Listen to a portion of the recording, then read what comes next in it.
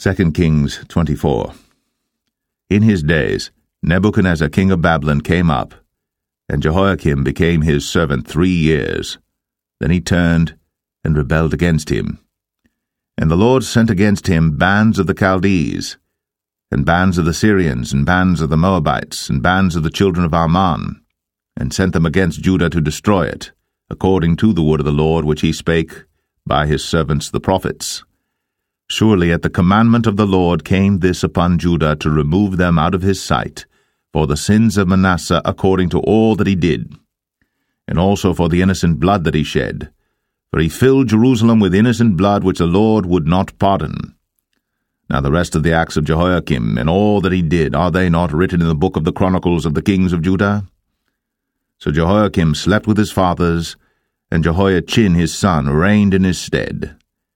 And the king of Egypt came not again any more out of his land, for the king of Babylon had taken from the river of Egypt unto the river Euphrates all that pertained to the king of Egypt. Jehoiachin was eighteen years old when he began to reign, and he reigned in Jerusalem three months. And his mother's name was Nehushta, the daughter of Elnathan of Jerusalem. And he did that which was evil in the sight of the Lord, according to all that his father had done. At that time, the servants of Nebuchadnezzar king of Babylon came up against Jerusalem, and the city was besieged. And Nebuchadnezzar king of Babylon came against the city, and his servants did besiege it. And Jehoiachin the king of Judah went out to the king of Babylon, he and his mother and his servants, and his princes and his officers. And the king of Babylon took him in the eighth year of his reign. And he carried out thence all the treasures of the house of the Lord, and the treasures of the king's house, and cut in pieces all the vessels of gold which Solomon king of Israel had made in the temple of the Lord, as the Lord had said. And he carried away all Jerusalem, and all the princes, and all the mighty men of valour, even ten thousand captives, and all the craftsmen and smiths, none remained, save the poorest sort of the people of the land.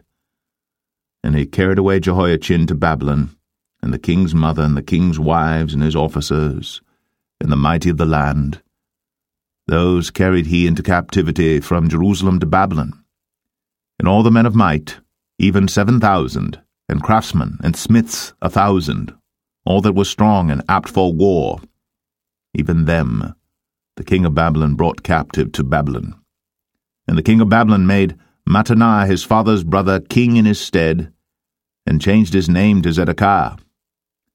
Zedekiah was twenty and one years old when he began to reign, and he reigned eleven years in Jerusalem. And his mother's name was Hamutal, the daughter of Jeremiah of Libnah. And he did that which was evil in the sight of the Lord according to all that Jehoiakim had done. For through the anger of the Lord it came to pass in Jerusalem and Judah, until he had cast them out from his presence, that Zedekiah rebelled against the king of Babylon.